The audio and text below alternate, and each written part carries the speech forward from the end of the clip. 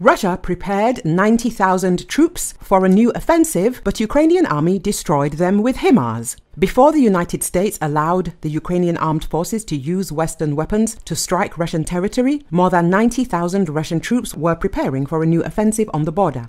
According to the Associated Press, since the end of May, Ukraine has the ability to attack Russian troops and air defense systems 20 kilometers from the border in the Kharkov region. Ukrainian crews reported that the HIMARS missile systems were launched just hours after permission was received.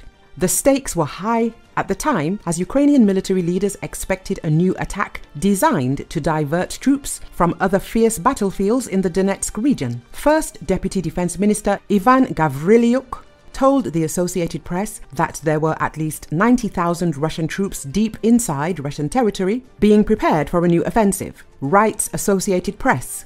One of the fighters with the call sign Hephaestus told the publication about the first hours when permission to use missile systems were given. HIMARS did not stop talking all day, he said. From the first days, Ukrainian forces managed to destroy entire columns of troops along the border awaiting orders to enter Ukraine. The dynamics changed almost immediately, allowing Ukrainian forces to stabilize this part of the front line.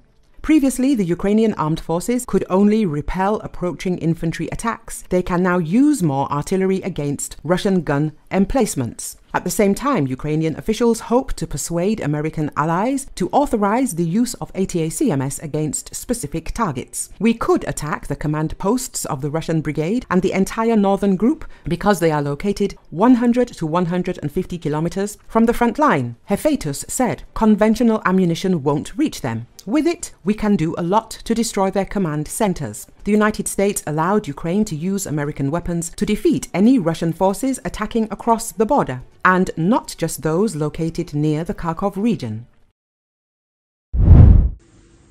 On June 23, the terrorist attacks in Dagestan killed more than 15 police officers.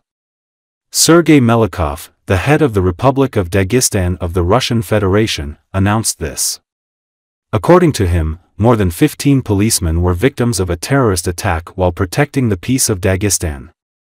One of them is the head of the Dagestan Lights Police Department, Mavlodin Kadyrnabiyev. He was seriously injured during a shootout with terrorists and died.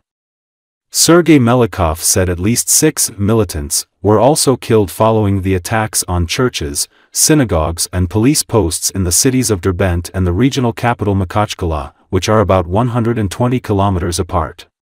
The attacks took place in the Republic of Dagestan in the North Caucasus, a predominantly Muslim region on the Caspian Sea that has a history of separatist and militant violence. No group has yet claimed responsibility for the attacks, which come three months after ISIS affiliate ISIS-K said it carried out an assault at the Crocus City Hall in Moscow that claimed more than 140 lives in one of Russia's deadliest terrorist atrocities in years.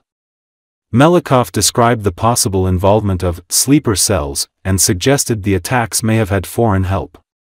Operative search and investigative measures will be carried out until all participants of the sleeper cells are identified, which, undoubtedly, include some that were organized from abroad, he added. While the investigation is underway, some local Russian officials pointed the finger at Ukraine, without providing evidence. The State Duma deputy from Dagestan, Dmitry Gadziev, said he believes special services of Ukraine and NATO countries could be behind the attack. But Russian Senator Dmitry Rogozin disputed the claim, saying in a telegram post that writing off every terrorist attack as the machinations of Ukraine and NATO would lead to big problems for Russia. June 24, 25 and 26 were announced as days of mourning in Dagestan. The relevant decree was signed by Sergei Melikov. It should be noted that in the evening of June 23, two Orthodox churches, a synagogue and a traffic police post were raided in the cities of Darbend and Makhachkala.